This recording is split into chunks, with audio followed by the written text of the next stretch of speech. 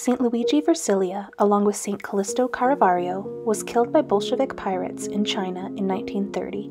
This is a short biography of his life. Luigi was born in Italy in 1873.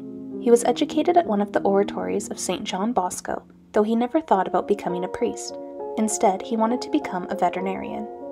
Don Bosco noticed Luigi's intelligence and saw something special in him, he asked to meet with him to discuss something important, but died before the meeting could occur. This left Luigi wondering what the meeting could have been about and changed his thoughts regarding his vocation. He entered the Salesian order and was ordained in 1895. He became known for his austerity and discipline.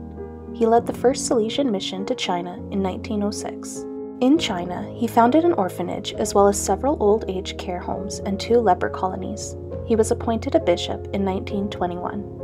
He served the people in the region in many capacities, even serving as a gardener or barber. He is pictured here giving future servant of God Carlo Braga a haircut. He was a man of wisdom and tireless energy, a real shepherd totally dedicated to his flock. He was more of a father than an authoritarian. He led by his example of hard work and Christian love, and never asked people to do anything without first weighing up their capabilities. In 1922, Bishop Versiglia traveled to Turin and gave a talk to some Salesian brothers about the mission in China. A young man named Callisto Caravario told him, Bishop, you will see me in China.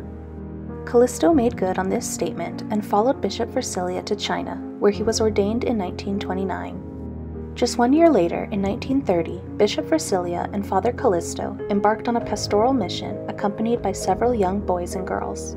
A group of Bolshevik pirates stopped their boat and tried to take the girls and their party.